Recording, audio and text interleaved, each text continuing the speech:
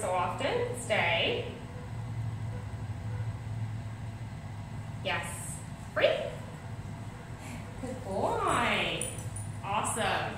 All right, I want to do just a few minutes of uh, just loose leash with him. Oh, oh, oh, I can't have the grab, so I'm just going to grab his leash. Actually, I'm going to use this lift because I don't want the poop bag to interfere, the little container. Just easier sometimes to do it uh, without that at the end.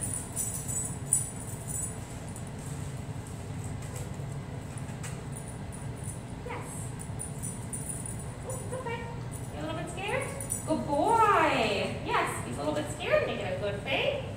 Good, Rocco. Let's go. Yes. To go forward. This way. Yes, to switch directions. Let's go. Yes. This way. Yes. Good, Rocco. This way. Yes. Good boy. Let's go. Yes. Oof. This way. Yes. Good boy, Rocco. Let's go. Yes. this way.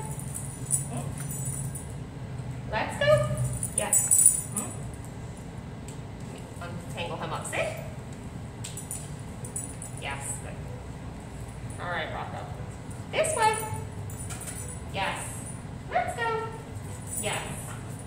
This way. Yes. Let's go. Yes. The biggest thing with leash is that if he pulls, we should stop.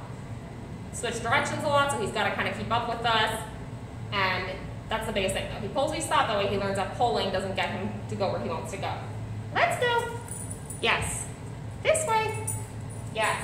Good boy, Rocco. Let's go. Yes. This way. Yes.